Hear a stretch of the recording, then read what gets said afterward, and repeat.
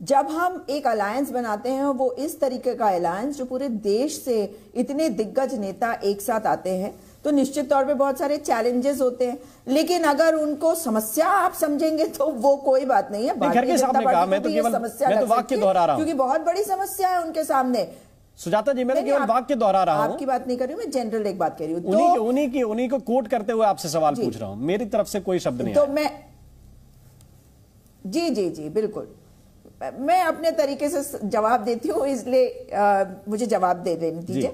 तो आ, जो बातें कही जा रही है ना इनको कहते हैं बाल की खाल उखाड़ना।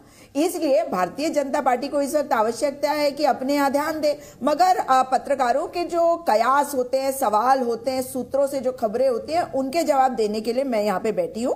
और हमारे तमाम नेता आपको बता चुके हैं कि जो सूत्रों से आई खबरें हैं, वो आपके पास कैसे पहुँची तो पता नहीं, लेकिन वो सच्चाई नहीं है। और अभी आपकी जो रिपोर्टर थी, उन्होंने भी बड़ी अच्छे तरीके से इस बात को बता दिया। अब एक नाम को आगे करना चुनौती है ये कहा जा रहा है अगर तो बड़ी हैरानी की बात है क्योंकि एक नाम के अलावा दूसरे नाम को आगे करना बहुत बड़ी चुनौती है भारतीय जनता पार्टी के लिए क्योंकि वहाँ पे तो केवल एक नाम है। हमारे यहाँ तो इतने सारे नाम है मगर हमारे लिए सर्वोपरि है भारत और सर्वोपरि है भारत का लोकतंत्र। उसे बचाने के लिए आज जो लड़ाई लड़ी जा रही है वो भारत के चेहरे पर युवाओं के चेहरे पर बेरोजगार के चेहरे पर महिलाओं के चेहरे पर उन बहनों के जो अपने बेटों को देखती है लेकिन सुजाता जी आपने वो वो समस्या नहीं बताई जिसको मल्लिकार्जुन खड़गे जिसको मल्लिकार्जुन खड़गे खुद समस्या कह रहे हैं। मैं तो बस जानना चाह रहा था कि इन दो स्टेट्स में क्या समस्या है?